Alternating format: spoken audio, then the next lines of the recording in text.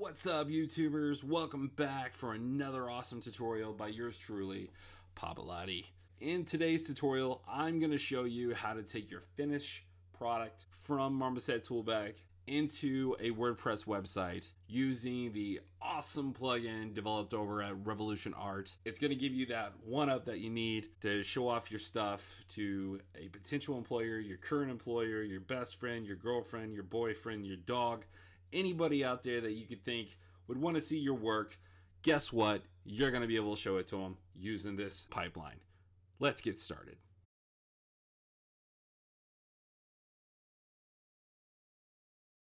Okay, we're going to be starting in Marmoset Toolbag 2 today. And just go ahead and grab any model that you want to put on display. You can do that by going to File, Import Model. You can use OBJs or FBXs. Once you have your scene all set up and you're ready to go, go to File, then Viewer Export. This is going to have a pop-up window come up that's going to ask for some meta information for the file that you're about to export. Go ahead and fill this out Typically, I just use the title author. I do put in a link normally. I didn't do that here.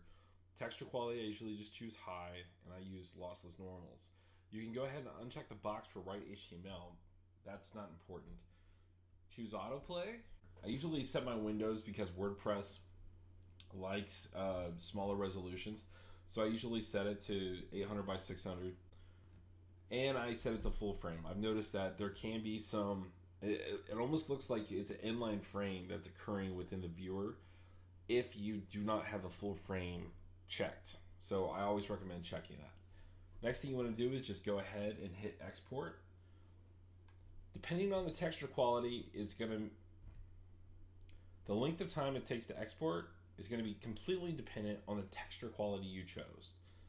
So, for example, unreasonable will take forever and it's a complete waste of time. I recommend not doing that. High is good enough, so just stick with that.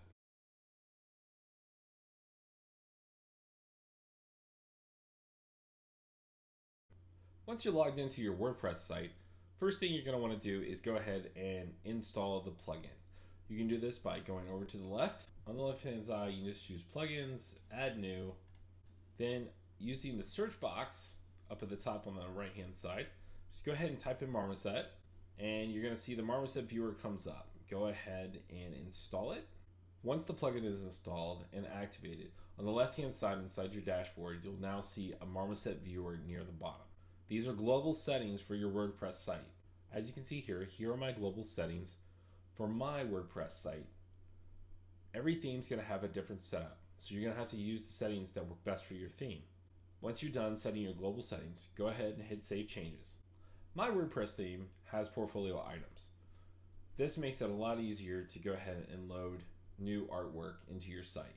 I highly recommend finding a theme that works best for you, but also has this option for portfolio items. If not, you can always just click on Add Posts. Once the new item page is loaded, whether that's a portfolio item or a new post, you will notice that in the bar, there's an Insert Marmoset Toolbag 2 MView file button. Go ahead and click it. This will launch a pop-up context window. This window will contain a couple of options for you. The first one is the MView file button on the left-hand side.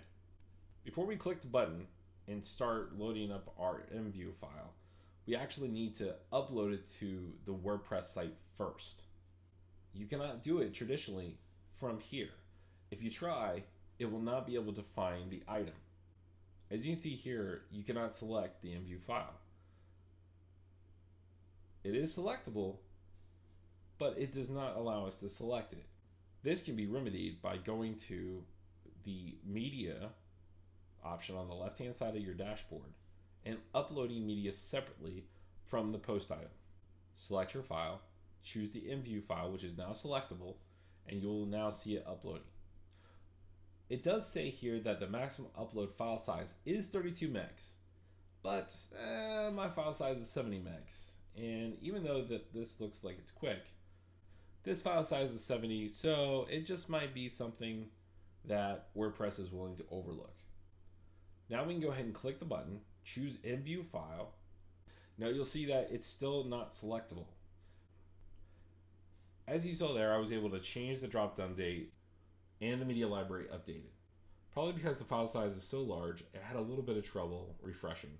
Now that our file is loaded here and it shows the path, you can choose to select it to autoplay and hit save.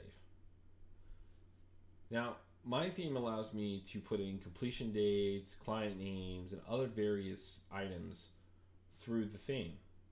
Again, this is a great theme. Unfortunately, it is no longer supported and cannot be downloaded from ThemeForest, which is where you can get all the great WordPress themes you want.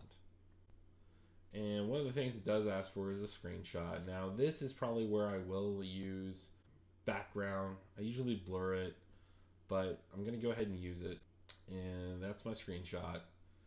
And once it's all said and done, we'll go to the page. And, and once the page loads, you'll see the Marmoset viewer start to load on the WordPress page. It may take a second depending on your internet connection, but once it's done, you'll see the model fully loaded. I personally love the Marmoset viewer. The options it gives to the viewer to be able to view your model in different forms is really helpful in seeing the object and how it's put together. From the topology to the gloss map to the albedo map, normal map, these are all viewable here with the Marmoset viewer. You can also do more complex setups. If you want more objects in your scene, Marmoset can cater to you as well. Such as here. Here is a character with other objects, such as a pedestal stand for him to stand on. Well, that about wraps it up for this episode. Please leave your comments below. Click that subscribe button. Show your love. Show me that you want more. And I'll do my best to get more out there for you. Until next time.